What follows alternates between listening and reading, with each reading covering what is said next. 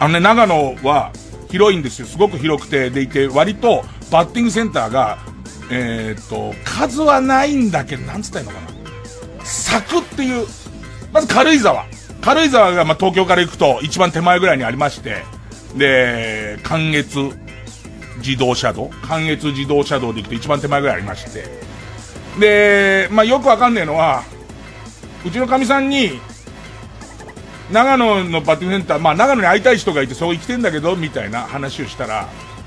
軽井沢までだったら私運転して送ってやるっつって。で、軽井沢アウトレットがあるんです。で、私アウトレットで買い物して、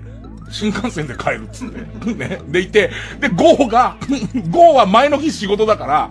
あの、その日あんま運転しなくていいように軽井沢まで寝ればいいじゃんつって。軽井沢まで寝て、で、かみさんバイバイっつってアウトレット入ってっちゃって。で、今度 GO と一緒に移動が始まるんですけど、軽井沢のすぐには柵っていうとこに数軒あるんですよ。で、その後またしばらく10キロぐらい、10キロ、20キロぐらい離れた上田っていうところにもまた何軒かあって、さらには上の方の長野っていうところにまた何軒かあり、で、この長野横縦断するから多分50キロぐらいあるんじゃないかな。50キロぐらいある、えー、松本っ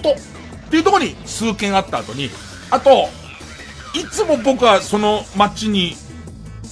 その街にのバッティングセンターはいつも行かなきゃ、ここは行きづらいとこだな。えー、っと、長野と愛知の県境寄りぐらいの飯田ってとこに一軒あって、バッティングセンターの全国制覇を考えるときに、まあ行きづらいっていう。で、飯田がその長野、えー、松本から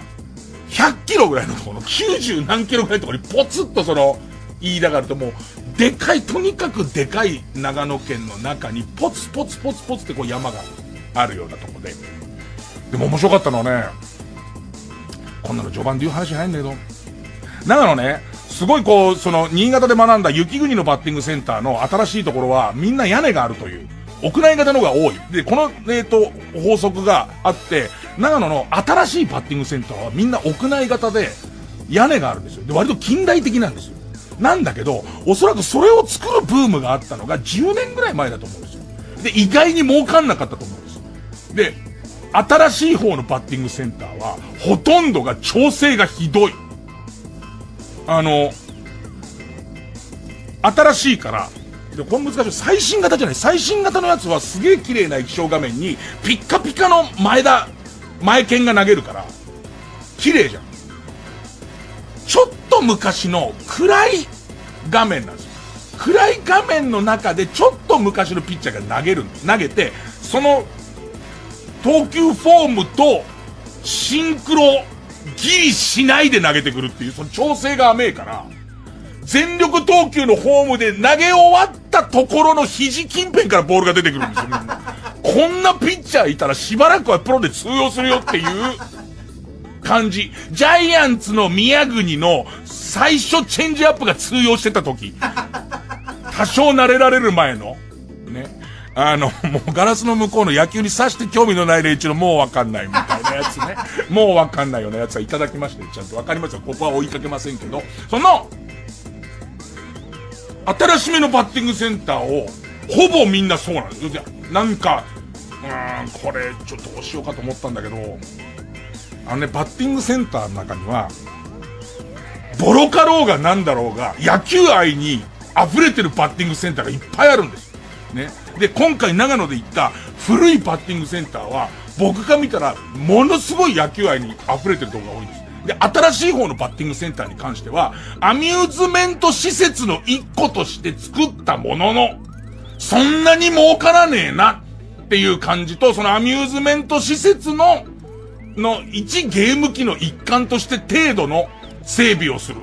だから最新のものすげえジバニャンとかの入ってる、えっ、ー、と、妖怪ウォッチの入ってる UFO キャッチャーの方が、金が儲かるからそっちの方を一生懸命やった方がいいじゃん、絶対経営者だから。なんだろうね、そんな、もう、だから、そこでイチャイチャするやつの中に、ちょっと野球やってみないみたいな、もうこう言わせてもらいますよ。ペッティングセンターさ、あっちは。完全な前儀のための。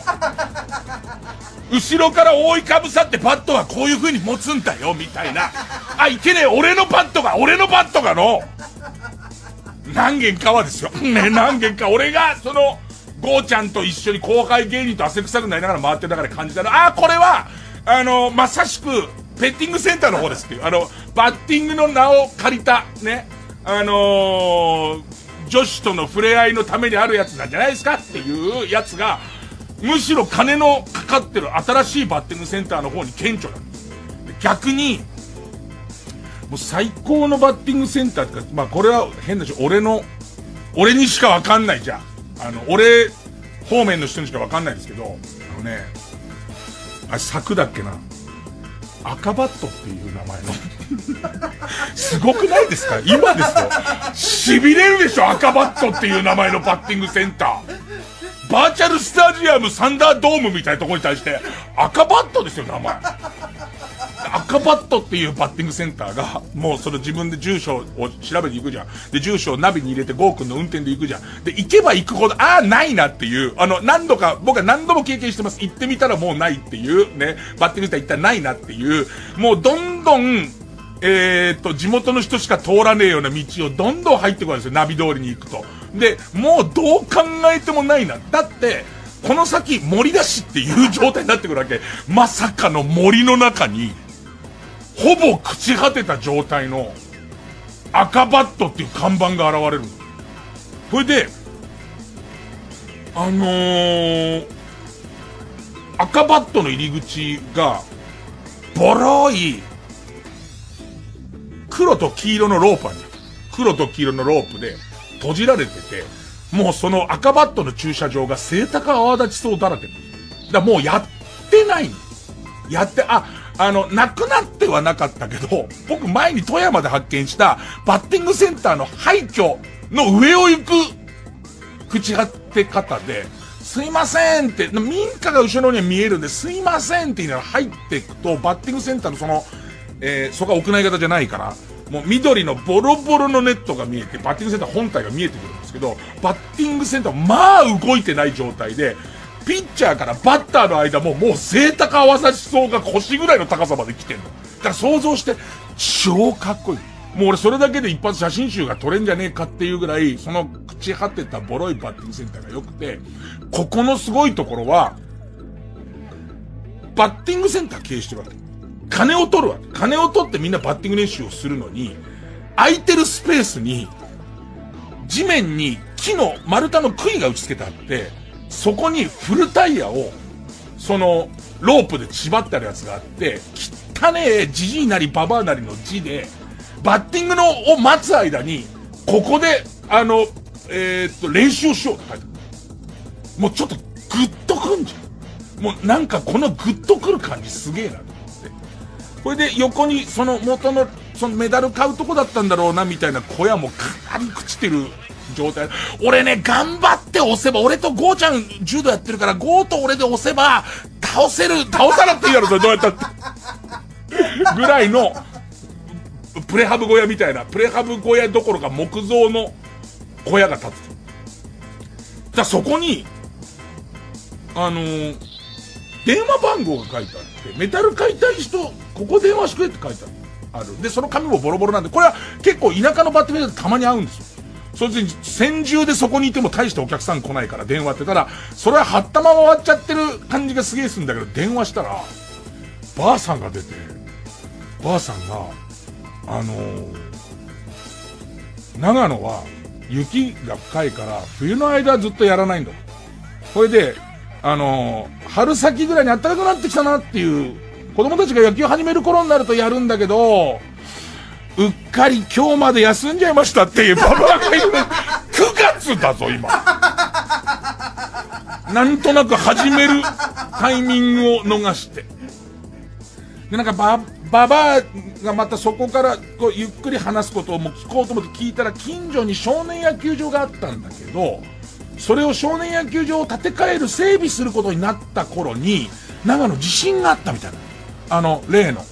あの、東日本の時にやっぱすごいことになっちゃったら、東日本ばかりがクローズアップされたけど、長野も揺れたじゃん。しかも2、3回にわたって揺れたじゃん。あの時のこと等あって、その新しいグラウンドができてない。で、グラウンドができたら再開しなきゃとは思ってるんですけども、みたいな感じで、はん、分かった。そ背高はだしその成長はまあ早いにしても、腰まで伸びるぐらい、まあ、つい休んじゃってるみたいな、なんだけど、だからそこのグッとくる感じや、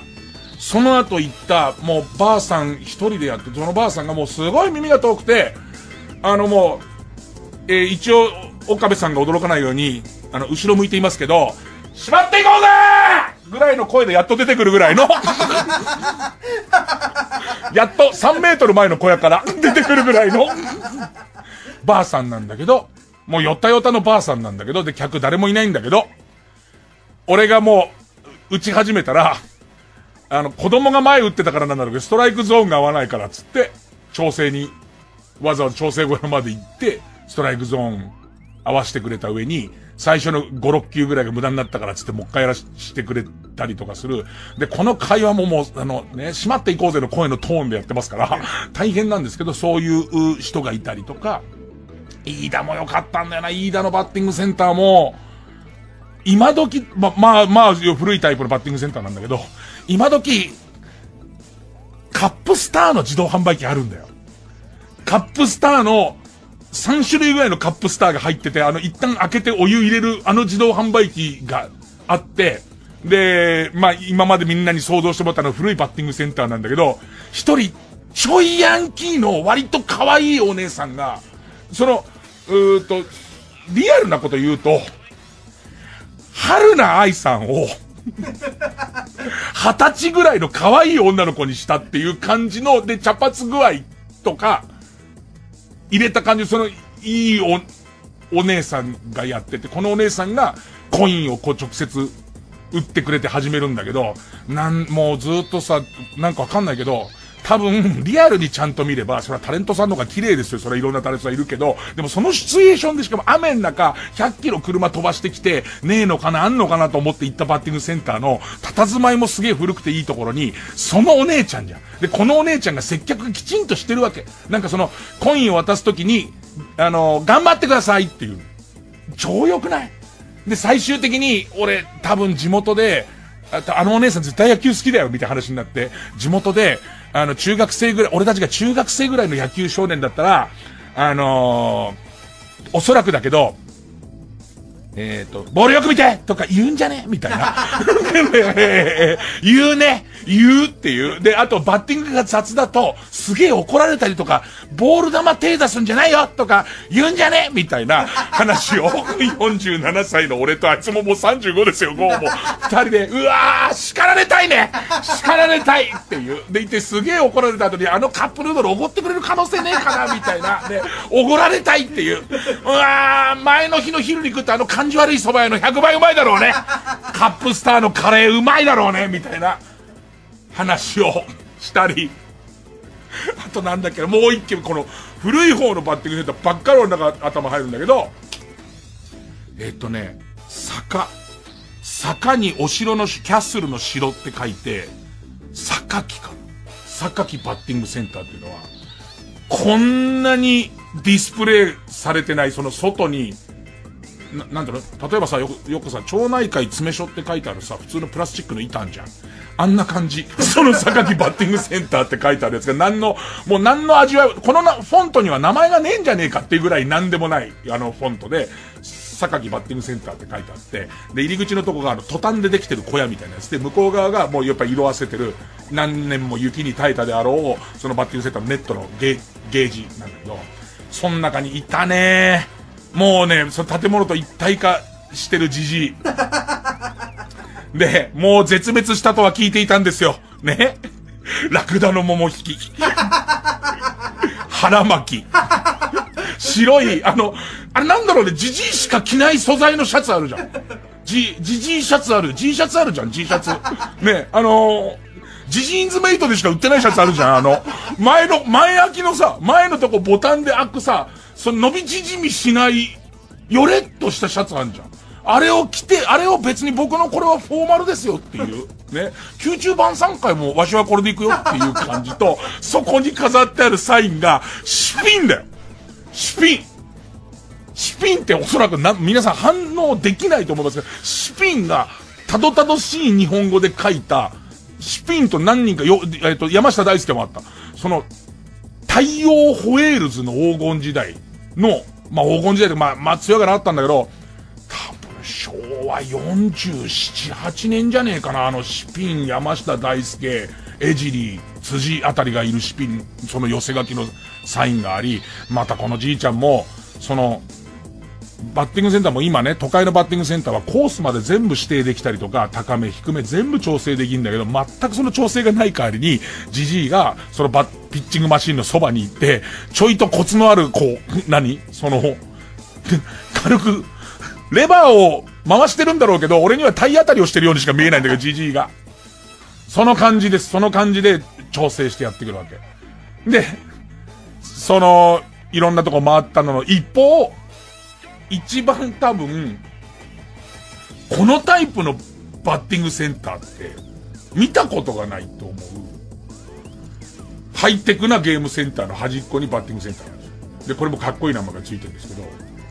まあ野球がお分かりにならない人はちょっと難しいかもしれませんけど、自分が右のバッターボックスに入って、まあ打とう。ね。真正面のピッチャーの位置からボール来ます。ピッチングマシン。ね。えー、っと、自分の12時の方向からピッチャーが投げてくるとすると、10時の方向です。10時の方向、前3メートルのところにでかい柱がある。ジャストミートすると跳ね返ってくるそのボール。この立地でバッティングセンター作っちゃダメだってっていう。何なんですかね。あの、こう、じじいたちの、じじい、ばばの野球愛と、やっぱ僕あえて言わせてもらいます。最初の思いは違うかもしれませんよ。最初の思いは違いますかもしれませんけど、今のその、お金のかけ方、整備の仕方から言うと、僕みたいな人間からしたら、これはペッティングセンターですと言われかねない、その野球愛のなさの差みたいのを、